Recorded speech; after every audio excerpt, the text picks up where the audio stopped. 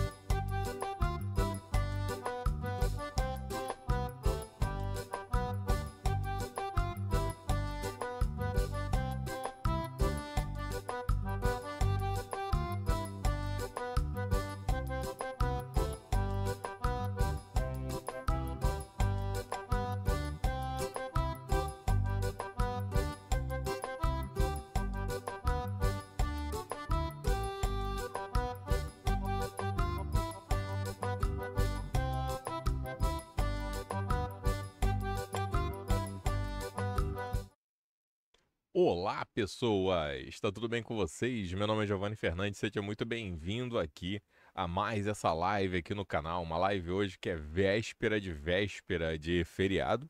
Deixa eu só colocar aqui a janelinha no esquema para eu não me perder. E agora que eu vi que o, o negocinho que eu preparei, ele não está aqui. É, é, é fogo, né? Gente prepara tudo e chega na hora não prepara nada, né? é fogo. Poxa, tinha deixado aqui a janela bonitinho com as legendas. Aqui, ó. Agora sim. Agora vai estar tá aparecendo aí bonitinho certinho. Deu um, deu um lag lag aqui na, na, no monitorzinho, mas foi. Então, vamos ver se tá tudo no esquema aqui na live. Deixa eu mandar um boa noite para todo mundo, mandar um boa noite pro Luiz, mandar um boa noite pro Gilberto, mandar um boa noite para todo mundo que tá chegando aí, tá dando like. Para quem não me conhece, meu nome é Giovanni Fernandes. Para quem já me conhece, vou continuar sendo Giovanni Fernandes. E aí, pessoas? Tá tudo bem com vocês? Então, live de hoje eu preparei um Paranauê especial. Uma das coisas que eu tô testando é esse novo sisteminha aqui de legenda. Espero que funcione, porque esse aqui não é igual o sistema que eu funcionava, mas espero que seja tão bom quanto. Mas o tema da live de hoje é um tema que pode até parecer complexo, né? Que é sobre a tabela de James Laver. Será que a tabela de James Laver se aplica à fotografia? A grande questão é quem é James Laver? Mas vamos falar disso aí daqui a pouco. Primeiro deixa eu só ver se está tudo certinho aqui, porque o YouTube ele tá falando que não está recebendo vídeo suficiente. Tá chegando legal o meu vídeo aí? Tá chegando legal o meu áudio aí para vocês, que é se confirmar que tá tudo certinho, aí eu fico feliz. Porque senão, aí eu simplesmente não farei ideia do que possa estar acontecendo aqui na transmissão. Porque aparentemente todos os programas de upload não estão aqui operantes, então não tem upload nenhum acontecendo. Pode ser esse programinha aqui que possa estar tá engasgando, mas aí vocês mencionam no chat para mim. Que é enquanto isso, olha só. Tá dando muito, muito? Então eu vou fechar o programinha aqui. Vou fechar o. Filtro? O que que viu? Ah, não, isso aí deve ser a, a luz, pode ser a lente, mas eu vou. Eu vou fechar o programinha aqui. Que aí vamos esperar que resolva. Se não resolver, Aí é tristeza. Bom, vou fechar o programinha de legenda aqui. Não foi dessa vez que eu teria a chance de testar ele. Ó, o Luiz até mencionou que aqui começou travando, mas estabilizou. Então já fechei ali o, o programinha de legenda. Aqui ele pode estar tá roubando recursos da máquina. Que na verdade pode nem ser problema de conexão com a internet. Pode ser justamente problema de recurso da máquina. Apesar de que o desempenho aqui está de boa. O processador aqui não está indo tanta coisa assim. E a taxa de upload está nas suas normalidades. Então espero que dessa vez tenha resolvido tudo, porque pelo menos aqui no meu replay ele está normal. Deixa eu dar um tchau ali para ver no replay quanto tempo leva para o tchau. Então tá levando o delay normal. Eu acho que agora estabilizou. Então Ó, o Gilberto até mencionou ali que o áudio tava legal, mas era o vídeo que tava travando. Então, gente, não era a, a conexão da internet, não. Devia ser esse programinha mesmo. Uma pena. Até porque esse programinha ele ainda está em, em, fase inicial de legenda. Enquanto o YouTube não se mancar com isso, vai ficar difícil. E o Guilherme ali falou: ó, Boa noite, Giovanni. Depois de muito tempo fazendo eventos, hoje estou de folga para assistir a live. Mas também hoje não, não teria muita coisa, não, né? Hoje, hoje, amanhã e depois são dias assim, fotograficamente falando, meio parados. Até porque se alguém contratar você aí do outro lado que está assistindo essa live para fazer uma foto hoje, amanhã ou depois de amanhã, você tem que cobrar triplicado, né? Porque são dias especiais, dias de passar com a família, dia de passar com os amigos. Hoje, por exemplo, hoje antes da ceia de Natal, tô aqui passando com os amigos, batendo um papo de fotografia. Apesar de que James Laver, ele não, não é muito vinculado à fotografia, não. Mas, vou só terminar de ver aqui o chat. Aí o Luiz mandou um boa noite novamente, a Débora falou que agora tá bom, então agora sim podemos falar de James Laver. Mas quem é James Laver? Já vamos mandar real. Ele não tem nada a ver com fotografia. James Laver, ele na verdade é um historiador de moda. Aí você imagina, pô, como é que um historiador de moda pode ser assunto de fotografia? Que na verdade a pessoa historiadora de qualquer assunto, ela vai se inteirar muito, não só do assunto, mas também das coisas que, vamos dizer assim, perpetuam aquele assunto.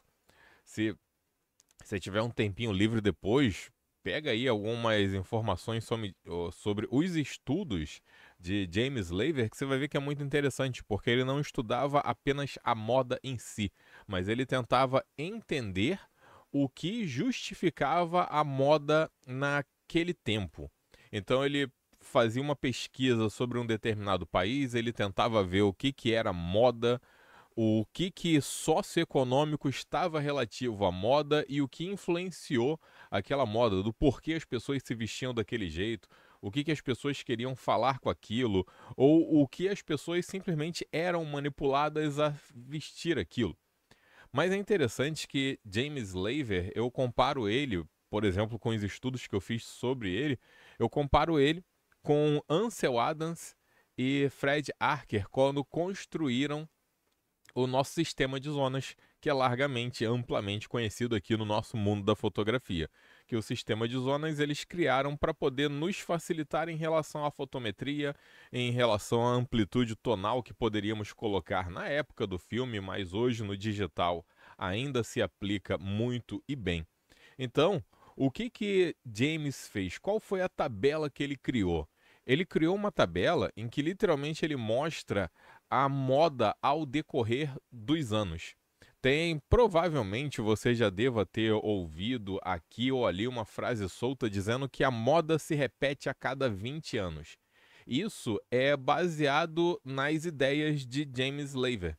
Então, a partir dessa tabela que ele criou, muita gente estudou, se aprofundou um pouquinho mais no que ele queria passar e entendeu que meio que a cada 20 anos uma coisa volta a ser moda, mesmo que seja repaginada. E na fotografia não é tão diferente assim. Só que eu vou pegar a tabela raiz do James Laver, não esse conceito de que a moda a cada 20 anos ela volta, mas tecnicamente tendências fotográficas elas vão e voltam também. Mas esse não é o objetivo principal da live, mas sim pegar essa tabela mais raiz do James Laver que ele literalmente catalogou até 150 anos. O que, que acontece com uma coisa que se vestia 150 anos atrás e como ela seria vista hoje pela sociedade. Então eu quero junto com vocês fazer isso, mas na fotografia. Como nós enxergamos uma foto que foi feita 150 anos atrás, o como seria que nós, a sociedade hoje, viríamos uma foto de 50 anos atrás, de 20 anos atrás?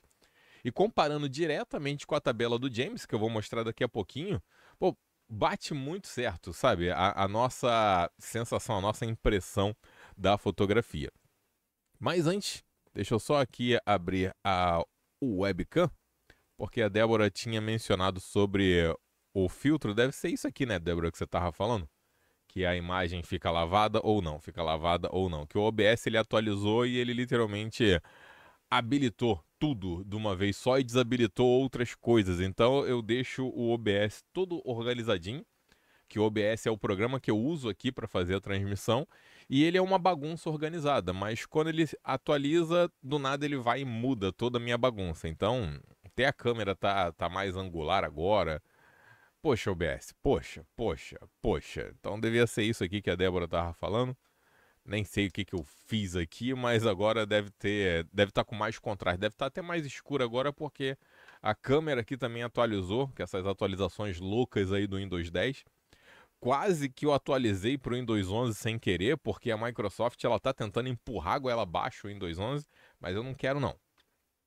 Bom, antes de eu mostrar a tabela do James, que eu quero fazer junto com vocês, pegando fotógrafos do nosso passado de 150 anos atrás até os dias atuais, Quero ver o que, que vocês estão comentando aqui. Vamos ver aqui, ó. O, o Luiz mencionou, embora tenha zica do Natal, boas festas e muita paz a todos. Zika que você diz é o Zika vírus ou tretas de Natal? Tretas de Natal em família é é aquilo, tem família que se não tiver briga, não tem Natal. Infelizmente as pessoas são assim. Hoje mesmo eu tava escutando com a Débora um desses vídeos que viralizam na internet, a mulher falando que não queria participar de amigo oculto e tudo mais. E é fogo. Natal às vezes é aquela reunião forçada de família. Então, muitas vezes é melhor você pegar teu celular e ficar vendo a linha do tempo enquanto a galera se degladia ali na mesa. Aí o Luiz aqui mencionou, interessante, eu ti, é, tinha uma música do Zé Rodrigues que dizia, de 20 em 20 anos a gente muda, mas de 40 em 40 todas as coisas se repetem. É um conceito interessante.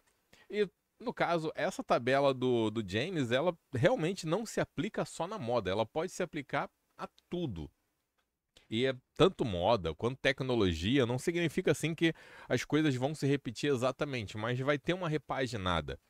E eu estava comparando essa tabela do James com filmes. Os filmes também, meio que a cada 20 anos, a cada 30 anos, ou cada tempo de percepção, os roteiros se repetem. Então, coisa que era moda na, na, nos anos 2000, hoje não é mais, mas você vê ali que volta um pouquinho dentro de um filme uma tendência ou outra. Nos anos 90, era muito comum assim filmes do cara que era o exército de um homem só.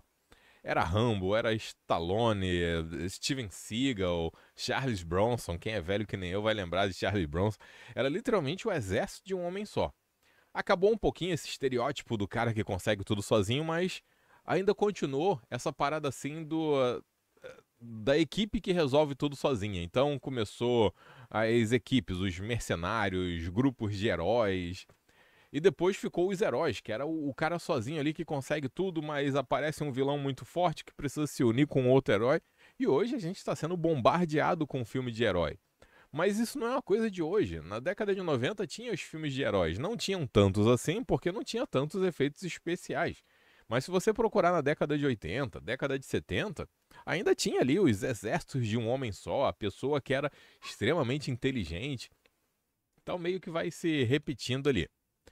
Deixa eu ver aqui o que mais vocês estão mencionando aqui. E o Luiz aqui, ele, ele mencionou o seguinte, ó. Na propaganda, onde tem 40 anos de trampo, eu já vi muita tendência nova se repetir.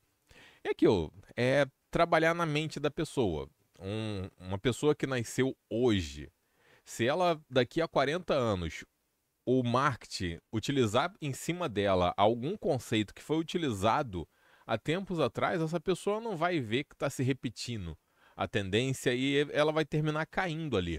Hoje, você vai ver que muita gente cai aí nesses contos de jogo do tigrinho, é jogo disso, jogo daquilo, ah, aposte aqui, ganhe horrores em dinheiro. Mas há 20 anos atrás, há 10 anos atrás, também tinha essas paradas. Tinha, tinha galera que gastava fortunas em jogos que você via na televisão ali, sorteios de bolinhas, e as bolinhas já estavam todas macetadas para cair sempre o mesmo número.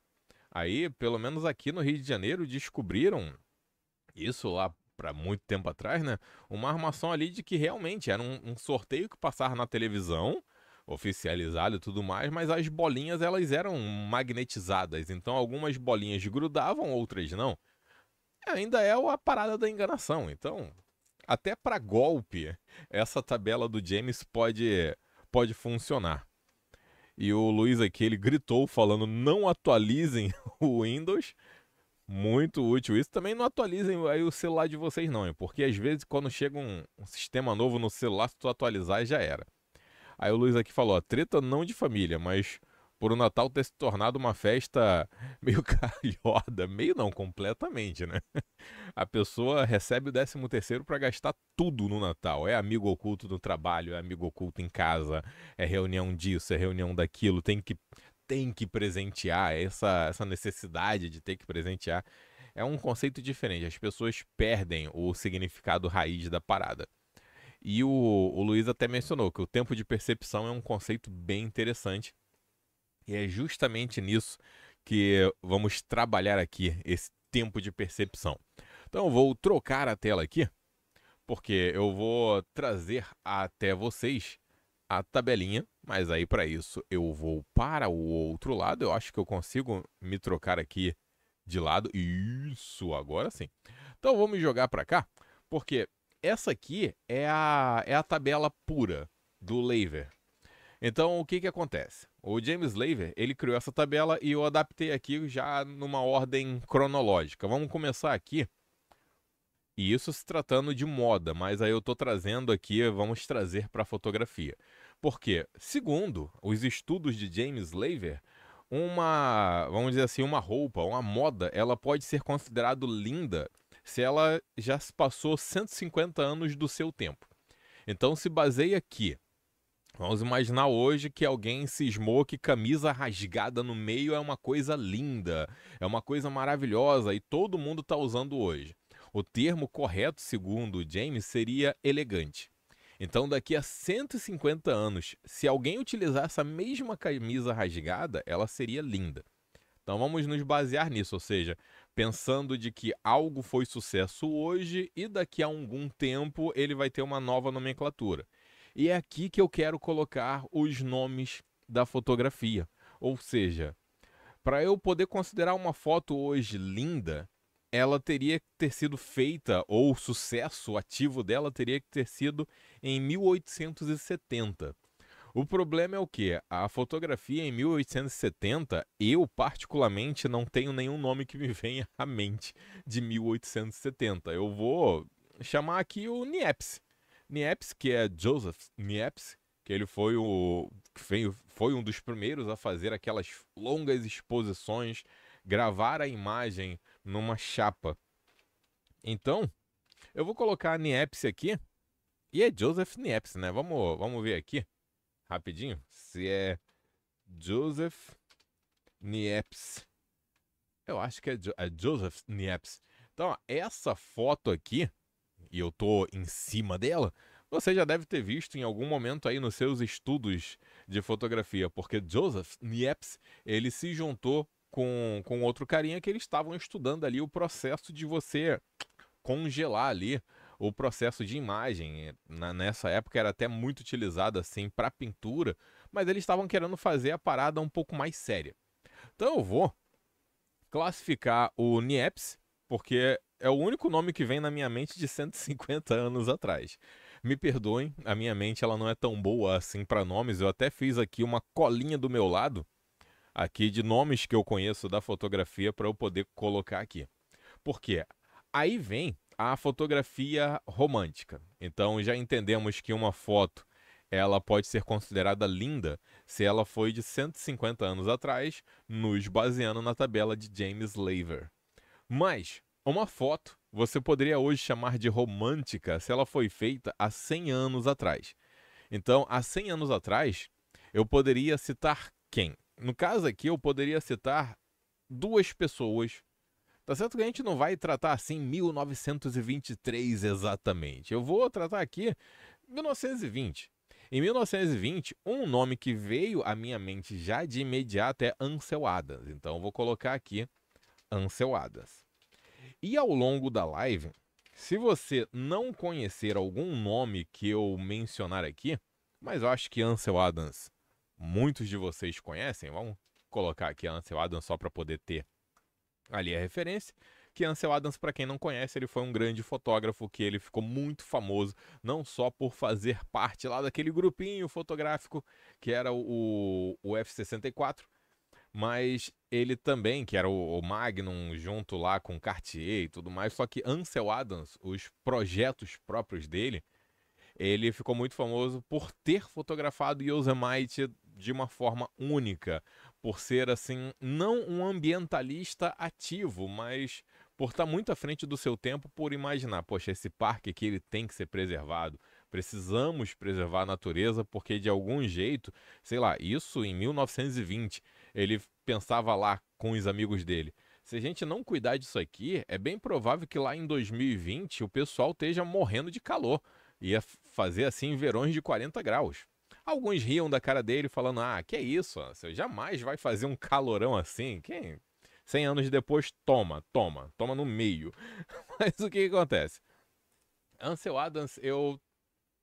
É um dos primeiros nomes que veio aqui na mente. Só que eu vou. Eu vou ser sincero com vocês, eu procurei outros nomes da fotografia. E em 1920/1930, as pesquisas que eu fiz aqui me sugeriram também Man Ray, que eu não achava que ele era dessa época. Eu achava que Man Ray era um pouquinho mais para frente. Man Ray, ele também estava à frente do tempo dele, então hoje a fotografia dele poderia ser considerada assim também linda. Mas no caso Man Ray, eu vou falar assim, se hoje Man Ray fosse famoso, ele ia ser famoso por aquele cara que faz light paint usando Photoshop, que ele usa inteligência artificial junto com algum recurso feito ali direto na câmera.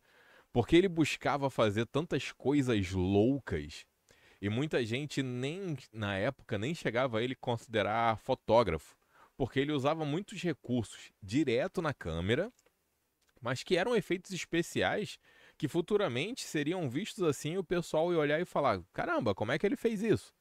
Então, Man Ray é um cara que para mim ele tá bem à frente do tempo dele também. Então vou botar aqui tanto Ansel Adams como Man Ray nesse estilo da fotografia romântica, porque, segundo a tabela de James Laver, eles, por terem mais de 100 anos ali, por terem 100 anos as fotos deles, eles já são considerados assim uma moda romântica. Então, as fotos de Ansel Adams, fotos de Man Ray seriam românticas. Fotos de Niepce já seriam fotos consideradas hoje lindas, porque elas já têm ou vão fazer 150 anos. Minha matemática nesse ponto não é muito boa, não, tá? Então, nessa parte aí era um pouquinho. Ó, o, o Luiz até mencionou aqui, ó. Eu acho o Man Ray surrealista, ele fazia parte do grupo deles e não romântico.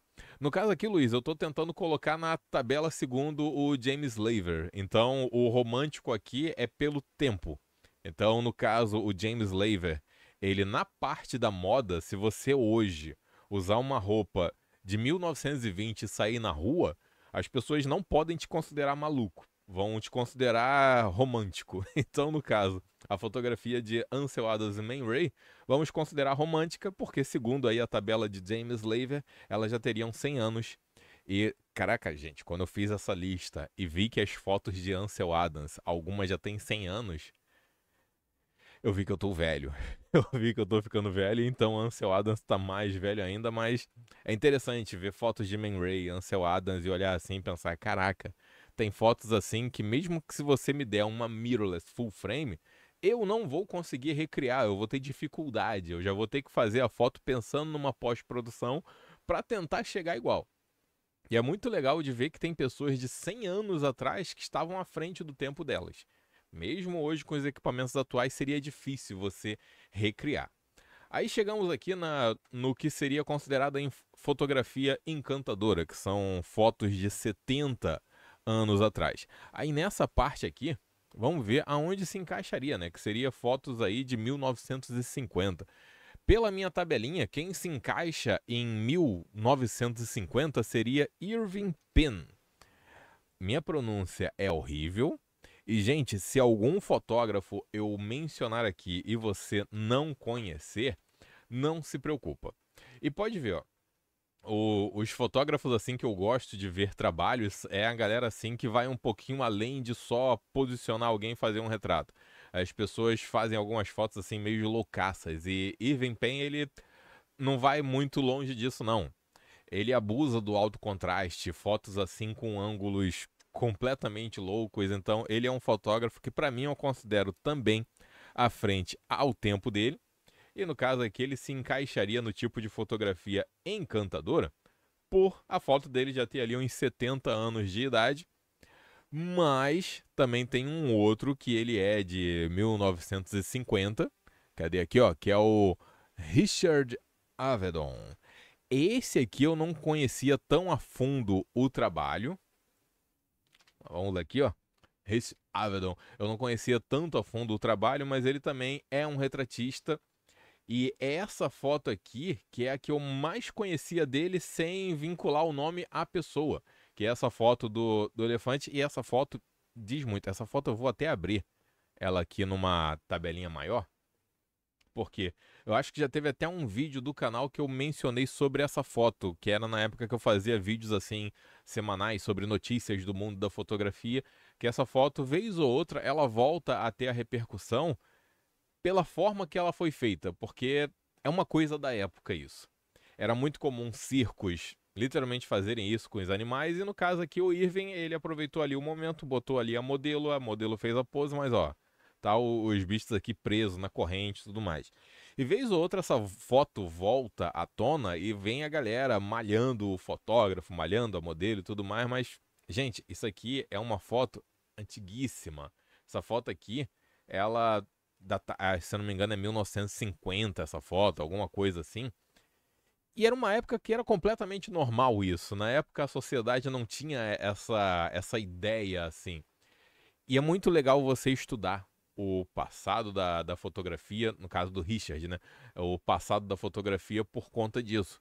Porque você vai aprender um pouco mais sobre a época, você vai entender os conceitos, você vai entender bastante de composição. Você vai ver que composição é um estudo único. Você estuda composição do passado, presente e futuro você vai ver que os mesmos tipos de composição você poderia aplicar nos dias de hoje. E é muito legal ver sobre esse passado, estudar sobre grandes fotógrafos. Então vou botar aqui o Avedon junto com Irving Penn.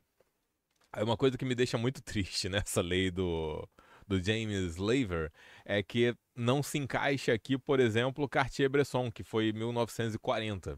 Então vamos colocar aqui o Bresson, que eu acho que é assim.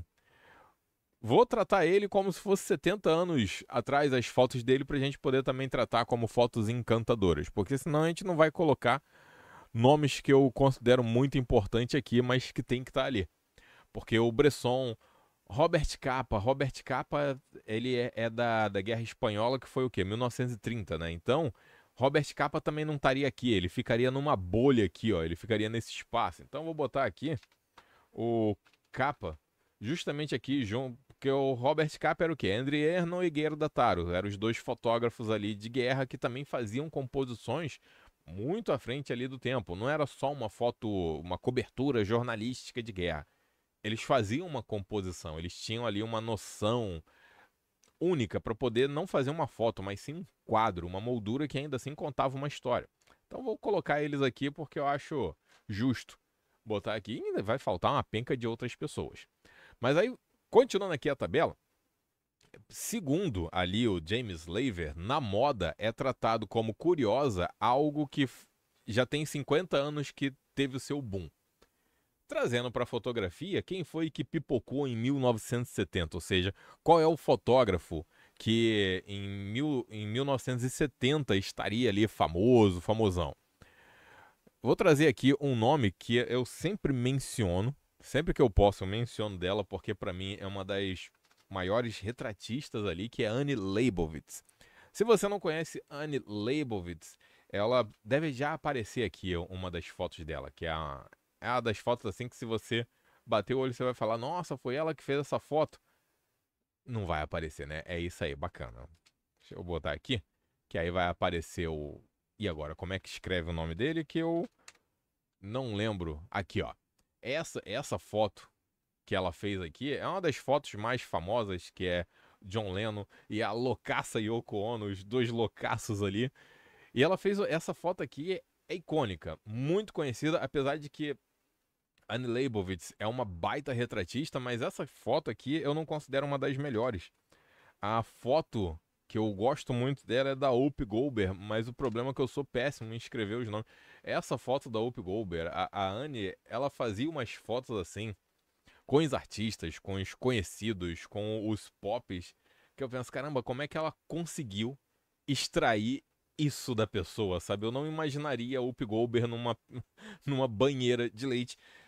Tem fotos, vamos dizer assim, mais normais da, da Anne. Vou pegar aqui, ó, do Arnold Schwarzenegger. Eu não ia conseguir escrever mesmo Arnold Schwarzenegger. Com Arnold Schwarzenegger tem muitas fotos, ela, ela fez muitos retratos do Arnold, eu acho muito legal que ela fazia uns conceitos assim, composição, tudo muito bacana. E basicamente ela, ela pipocou mesmo, foi lá na década de 70, que foi um dos auges lá da revista Rolling Stones. Mas não tem só Anne Leibovitz na década de 70, não. Tem um aqui que esse eu não conhecia muito o trabalho, foi recente assim que eu procurei um pouquinho mais e é, é sempre aquilo. É um nome que eu, se a pessoa falar, poxa, Giovanni, você conhece, conhece o fotógrafo Helmut Newton? Eu falar, pô, não conheço não. Mas aí, tu vê uma foto e você pensa, caramba, é ele que fez essa foto? Essa foto aqui, por favor, YouTube, por favor, por favor, YouTube, é porque tem uma bunda aqui.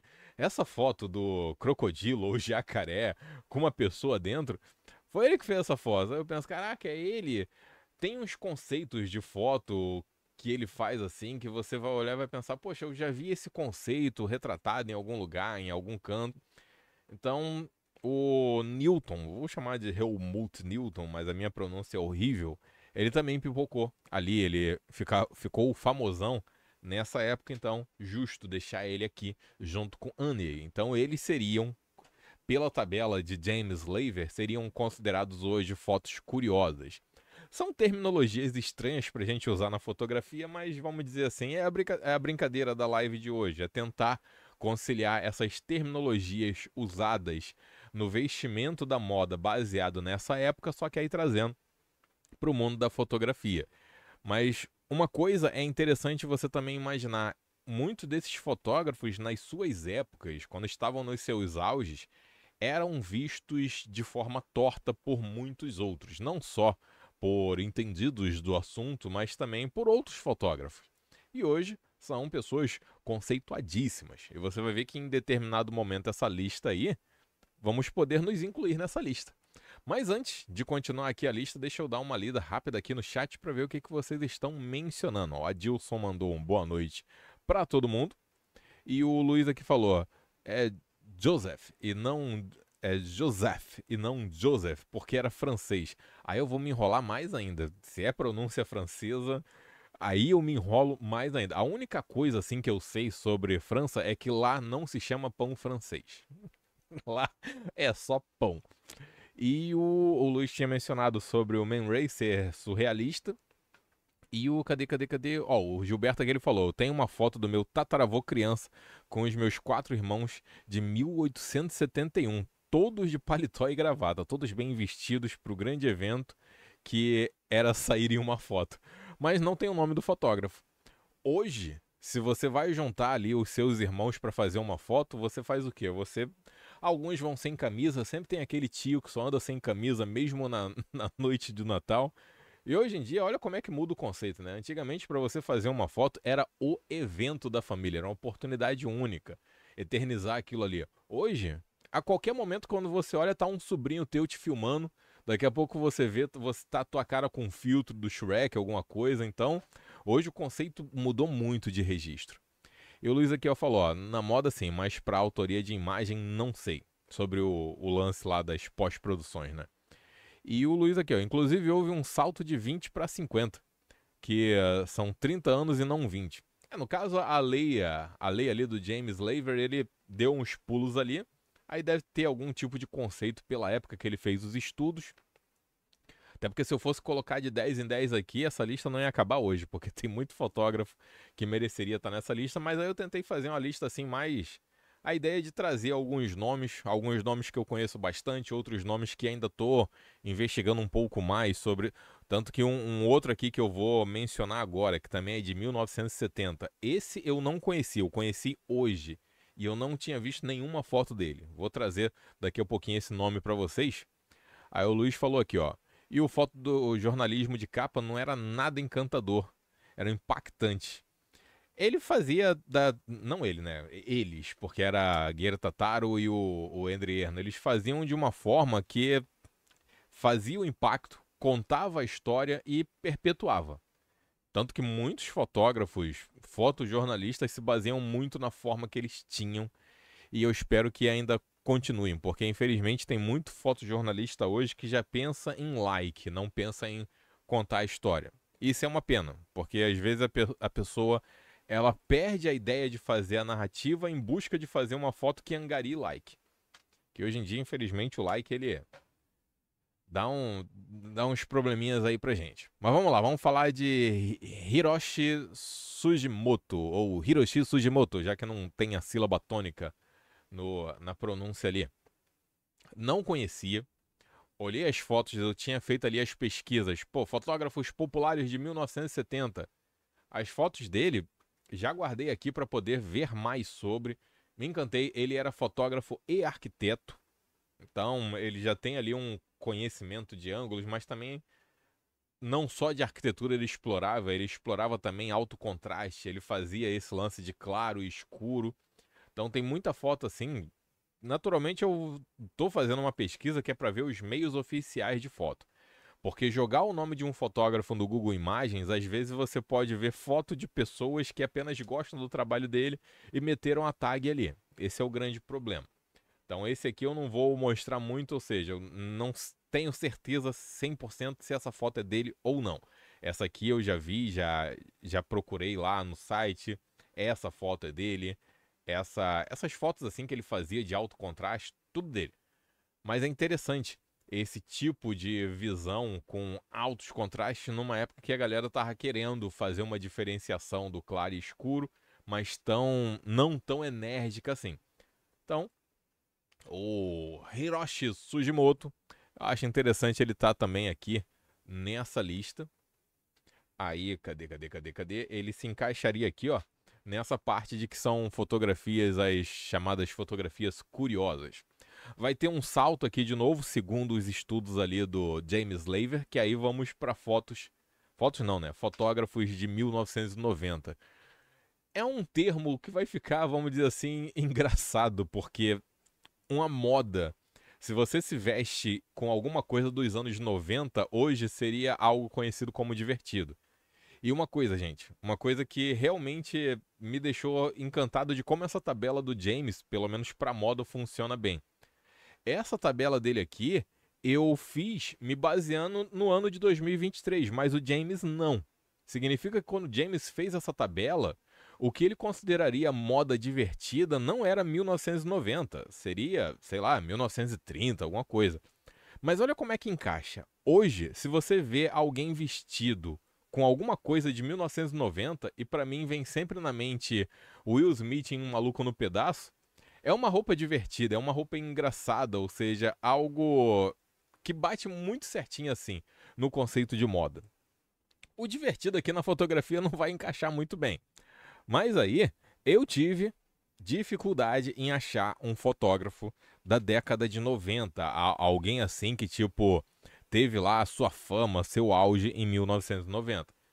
Utilizei meu amigo Google para poder chegar no nome de Andreas Gursky. Confesso para vocês, Andreas Gursky, eu não vou saber falar esse sobrenome. As fotos dele me lembram muito de Cássio Vasconcelos. Cássio Vasconcelos é um fotógrafo que ele faz muito tipo de foto assim, giga panorâmica, panorâmicas gigantes, mas aí depois apareceu essa foto aqui do Garsky e eu penso, eu já vi essa foto, eu já falei dessa foto no vídeo de grandes leilões da fotografia, que se não me falha a memória, essa foto aqui do Garsky, ela foi leiloada por 3 milhões, alguma coisa assim. Então, Garsky é um nome que eu já havia mencionado até aqui no canal, mas a minha mente é falha. Mas ele é muito conhecido por esse tipo de foto, fotos amplas. E eu não achava que ele era um fotógrafo que ficou famosão lá em 90. Cássio Vasconcelos, que é um fotógrafo que eu gosto muito. Deixa eu mostrar aqui, ó. Cássio Vasconcelos. Aqui em imagens. Cássio Vasconcelos ele também, faz, ele também faz muita pós-produção nas fotos dele. Mas eu acho legal que ele tem também esse conceito de grande, de grandes planos, ou seja, ele coloca muitos elementos numa única foto. Ele tem muita pós-produção, mas eu acho muito interessante a, a, visão dele. Mas aí no caso Cássio Vasconcelos é mais recente, não é década de 90 não, apesar de que Vasconcelos ele também é antigão aí na, na parte da fotografia panorâmica. Mas aí veio esse nome de Girl Sky que tem essas fotos aqui, essa foto principalmente, que foi leiloada caro para Chuchu, se não me falha a memória foi 3.75 alguma coisa. Então vamos colocar aí o Andreas Gursky em 1990. Dos mais atuais aqui, eu vou ter bastante dificuldade, bastante dúvida. Eu tive que fazer as pesquisas aqui mais, vamos dizer assim, mais pertinho para poder pegar os nomes. Mas antes de eu colocar esses três últimos aqui, que aí vem os nomes que vai, vai causar furduns, porque é a fotografia considerada como ridícula, medonha, fora de moda.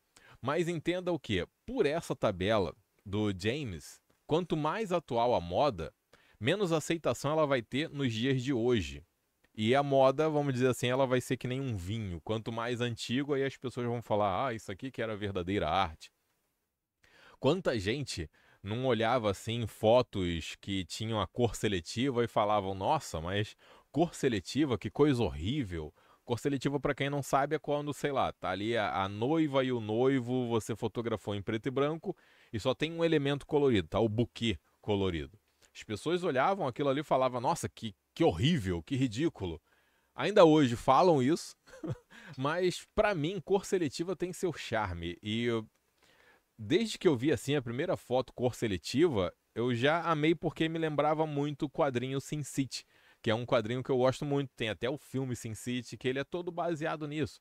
E hoje tem alguns quadrinhos que se utilizam disso.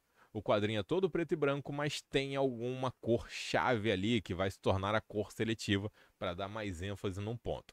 Mas vamos lá. Vou dar uma lida aqui no chat para poder trazer aí o nome da fotografia que se tornou muito conhecida 20 anos atrás. Mas vamos ver o que, que vocês estão mencionando aqui, ó. Cadê, cadê? Vamos ver aonde eu parei. Cadê o. Aqui, ó. Luiz aqui ele mencionou. Na revista Foto, o Helmut era freguês de carteirinha.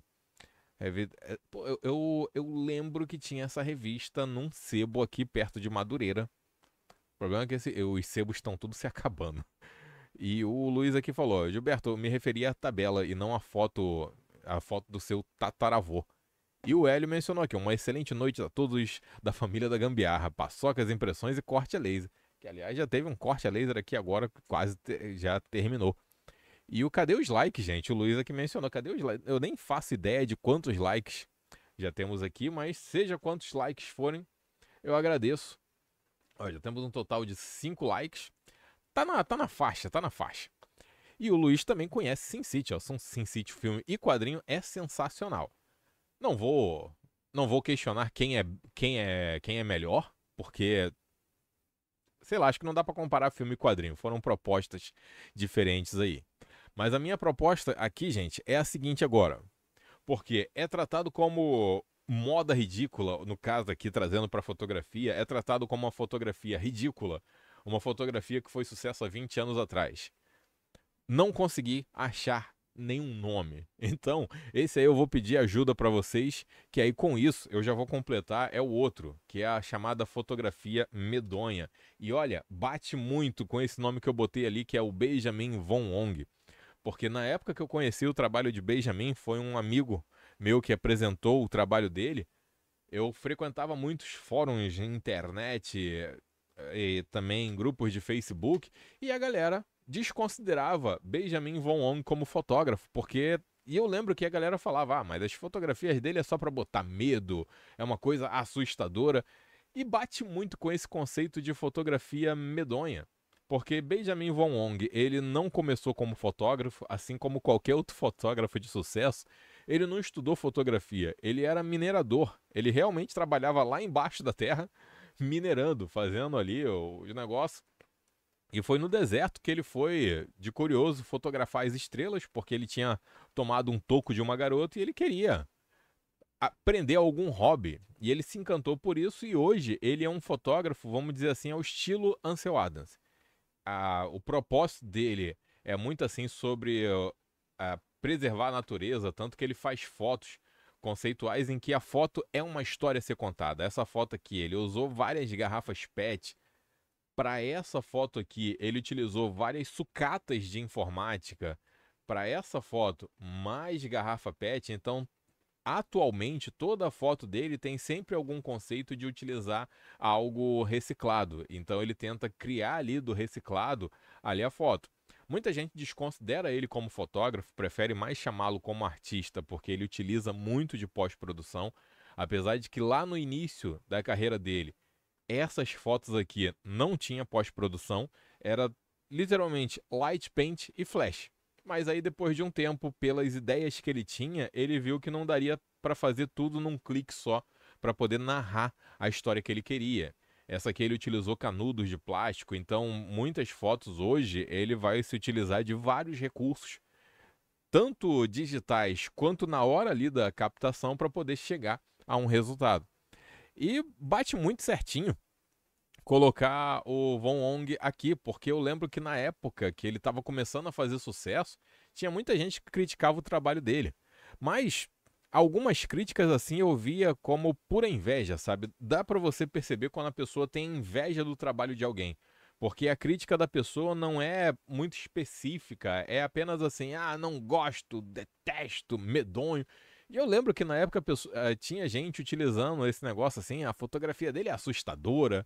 Eu penso, pô, assustadora bate com medonho. Então essa tabela do James não foi uma tabela aleatória que ele criou, não. O cara ele realmente fez algo que encaixa ali na moda, mas também encaixa na fotografia. Aí temos a fotografia fora de moda, que é a fotografia que ela tá um ano depois do seu tempo. Essa aqui também. Eu vou até fechar aqui a tabela que eu tinha criado, porque a partir daqui agora eu já não tenho mais referência nenhuma. Quem eu poderia considerar fora de moda hoje, ou seja, pessoas que estão um ano depois do seu tempo? No Instagram tem vários. Tem uma pinca de fotógrafo que eu conheço que hoje as fotos deles não vão ser vistas assim como uma foto classuda, mas daqui a 10 anos, 20 anos, a galera vai olhar e vai falar: pô, Fulano aqui tem, tem uma baita foto, muito bom, o olhar dele. Então, tem muitos fotógrafos hoje que eu vejo que num futuro vão ser fotógrafos conceituais, mas aí também entra uma coisa que eu já devo ter até mencionado em lives aqui. Hoje em dia tem muitos Ansel Adams. Tem muita gente hoje em dia com um olhar fotográfico sensacional. Tem muitos Sebastiões Salgados. Aliás, o Sebastião Salgado ele não entrou na lista porque não encaixa a numeração em que ele ficou ali no, no Sucessão. Mas tem muitos Sebastiões, muitas Anne Leibovitz, muitas Vivian Myers por aí. Só que é tanta rede social, é tanta coisa assim para engajamento comprado que a galera que faz fotos lindas, maravilhosas vão se perder nesse mar de outros fotógrafos que preferem só seguir a modinha e fazer o sucesso ali com a modinha. Então, infelizmente, vamos ter muito mais Ansel Adams por aí, só que vamos ouvir menos deles, vamos ter menos nomes, porque é muitos. São muitos. Hoje em dia está muito mais prático você ter uma câmera, um celular, fazer foto bonita, mas para poder seguir a tendência, para poder angariar o seu like ali na rede social, aí às vezes alguns vão seguir as modinhas, vão seguir ali uma tendência. E a forma que as redes sociais tratam nossas fotos hoje em dia é muito complicado. Se no Instagram você colocar uma foto hoje e daqui a uma semana eu tentar ver a sua foto arrastando linha do tempo, esquece, eu não vou conseguir ver sua foto. Que as redes sociais elas têm tipo um prazo de validade pelo Instagram, ao que eu vejo, são três dias. Se em três dias não aparecer na minha linha do tempo a sua foto, eu não vejo mais. A única forma de eu ver é ir no seu Instagram para poder ver ali. Site hoje em dia, também esquece. Dependendo da forma que está indexado o seu site no Google, ele nunca vai aparecer. Até porque o Google vai querer que o seu site apareça se você pagar ali o AdWords. Se você não pagar o AdWords, dificilmente vai aparecer com uma indexação tão boa blogs hoje em dia estão cada vez menos utilizados. Teve uma pesquisa que eu vi que eu fiquei abismado. As pessoas hoje em dia estão preferindo pesquisar coisas no YouTube e no TikTok do que no Google. Sendo que o YouTube, a única coisa que ele vai te direcionar é vídeo. E o TikTok, a única coisa que ele vai te direcionar é vídeo curto. Significa que quem monta site hoje em dia, faz uma matéria toda cautelosa ali, toda detalhada, a pessoa vai cair no esquecimento. Então tá arriscado com o tempo ela se desmotivar, porque ela vai ver que não tá tendo um retorno ali, não tá tendo muitas pessoas vendo o seu site, seu blog. Então, essa lista daqui para cima vai ficar bem complicada, porque eu, eu não consigo imaginar, por exemplo, como é que vai estar tá a fotografia em 2033. Ou seja, como é que eu posso imaginar hoje o que, que seria uma fotografia indecente? Isso na, na fotografia, mas sem, vamos dizer assim, sem mais 18, né? Eu vejo que indecente hoje eu poderia classificar. O que, que é a fotografia em 2033? Uma câmera Isso aí eu vou viajar na maionese mesmo, gente. Vamos imaginar você pegar uma câmera hoje, apontar para alguma coisa, fazer a foto, mas falar: Olha, câmera, eu quero esse dia ensolarado. E você terminou de fotografar uma pessoa na chuva. Mas você fotografou a pessoa na chuva e a foto já saiu com um dia ensolarado, porque você falou para a câmera: Câmera, eu quero sol nessa cena. Então, isso para mim hoje seria fotografia indecente, porque você vai estar tá se utilizando da inteligência artificial e ali na hora. Você não precisa fazer a foto, botar no computador, selecionar. Não, daqui a 10 anos, eu, Giovanni, vejo que as coisas vão estar tá tão avançadas que você vai estar tá conversando ali com a câmera e falando, eu quero a foto assim assado. Um pouquinho antes da live mesmo, eu estava usando um filtro que tem no Photoshop que você pode pegar a pessoa com uma expressão triste e botar ela alegre. Isso justamente para quê? Você fez uma foto ali em família, só que aí tem aquele tio mala que faz careta. Eu sou o tipo de pessoa que faz isso. Aí você pensa, pô, o Giovanni estragou a foto. Tu vai no Photoshop, marca lá o Giovanni e bota, ó, feliz. Pronto, o Photoshop ele vai entender ali a minha expressão e vai mudar a minha expressão. Eu vejo que num futuro não vai precisar de Photoshop. Tu aponta a câmera, o celular, tira foto, fala, ó, quero todo mundo feliz nessa foto. Pronto, a câmera já sabe que tem que estar tá todo mundo feliz. E isso daqui a 10 anos é o que eu consideraria fotografia indecente. Mas posso estar errado com as minhas previsões. Posso estar errado em muita coisa que eu falei na live de hoje. Mas é isso, gente, é tentativa e erro. Com certeza, muita gente que está aqui na live hoje, daqui a uns 10, 20 anos, vai olhar para as suas fotos do passado, fotos que você hoje olha e fala: pô, eu não sabia nada de fotografia. Você vai olhar para sua foto e vai falar: caraca, eu era foda. Eu era foda. Então, vejo muito isso. Vejo muito isso acontecer. Comigo, principalmente. Mas vamos lá. O Luiz aqui ele mencionou que o filme Sin City utilizou muito bem a linguagem e o enquadramento da HQ. E é difícil isso, adaptar uma HQ para o cinema. Eu vejo a Marvel fazer isso, ela fez bons filmes adaptados e péssimos filmes adaptados. A DC também está seguindo um fluxo assim de fazer péssimas adaptações e pouquíssimas boas, mas é aquilo. O cinema ele virou uma indústria e agora ele já tem a fórmula do sucesso. Mesmo fazendo um filme ruim, vai da bilheteria, então vamos que vamos. O Gilberto falou ó, o seguinte: ó, aqui em São Paulo Ainda conheço muitos sebos, mas achar livro de fotografia é difícil, muito poucos.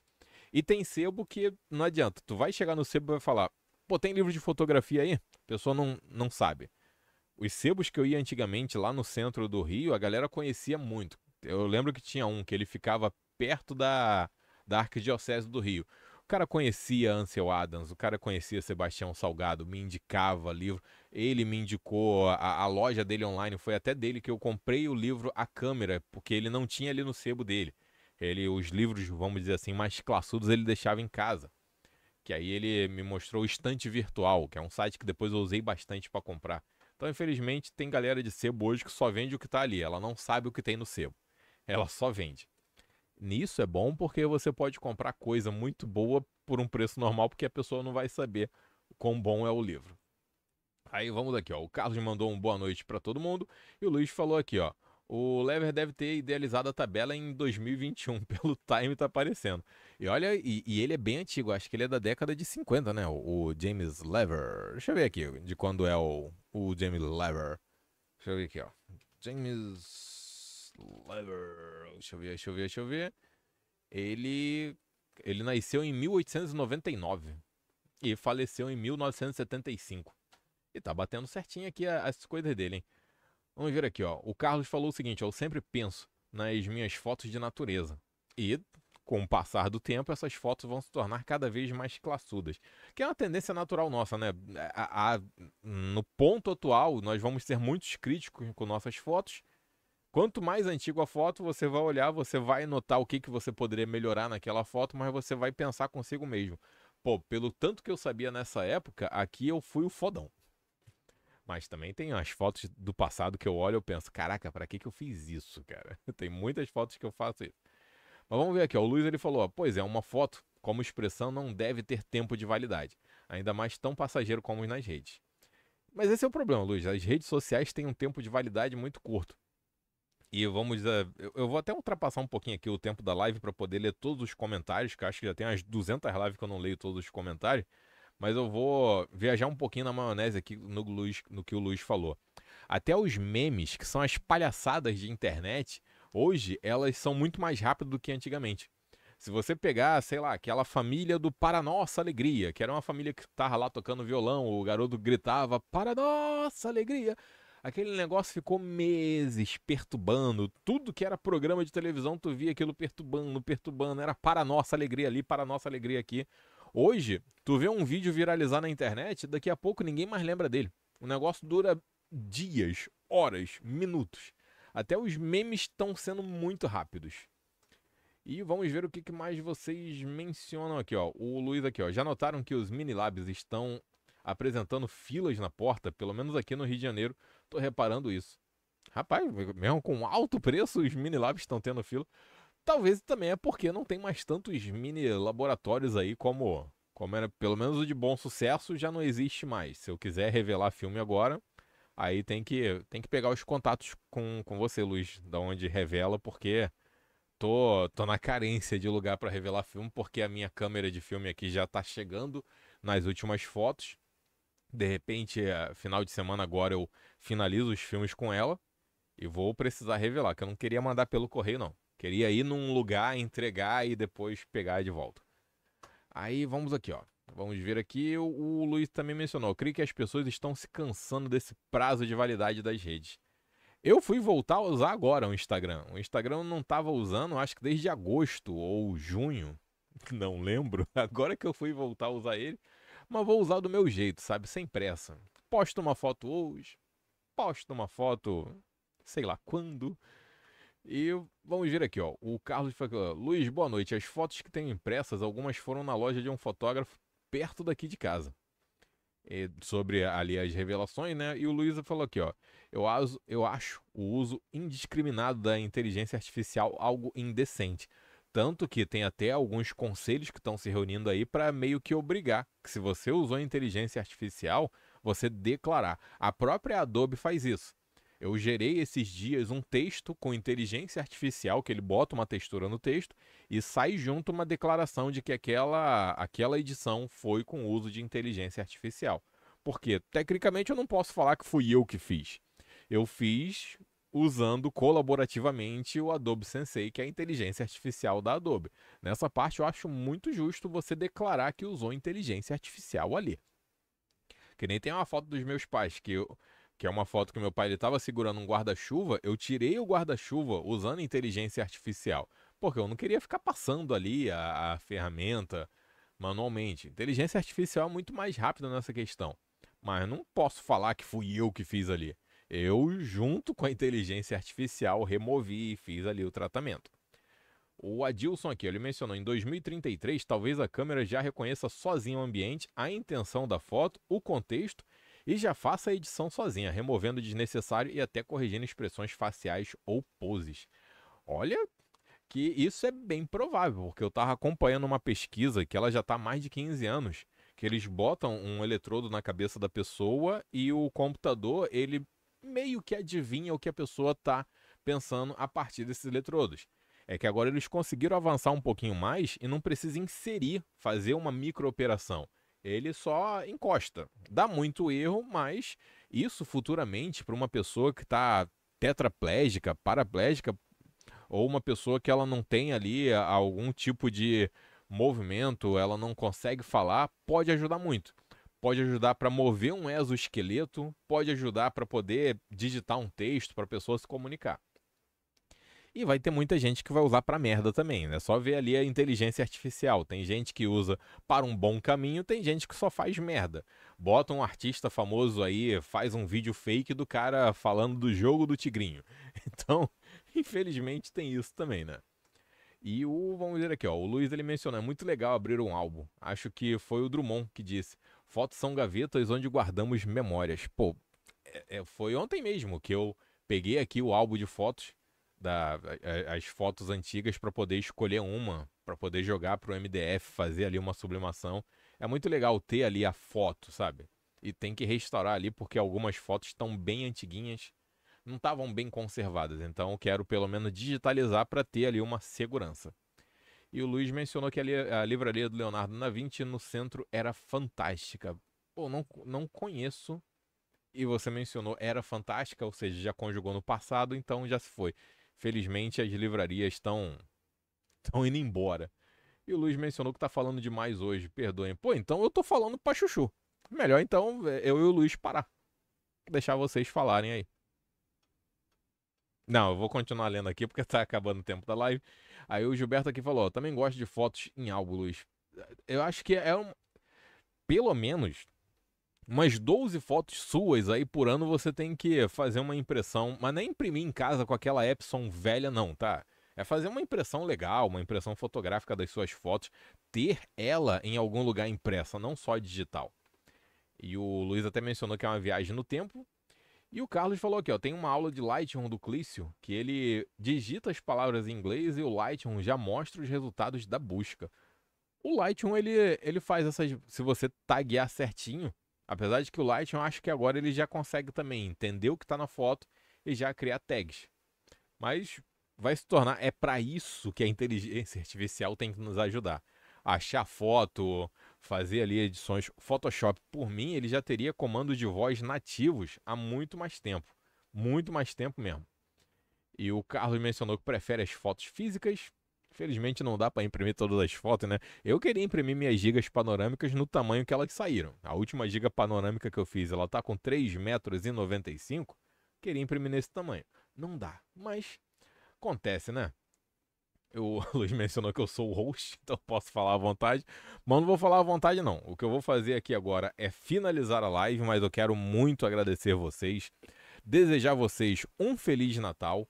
Não vou desejar um ótimo ano novo unicamente porque ainda vai ter uma live antes do ano novo. Então, muito, muitas felicidades para vocês amanhã, sem brigas de família. Se começar uma briga de família, você simplesmente só chega para todo mundo. E, gente, sem briga paçoca para todo mundo e oferece paçoca para todo mundo. Se você não tiver paçoca, peça para alguém paçoca.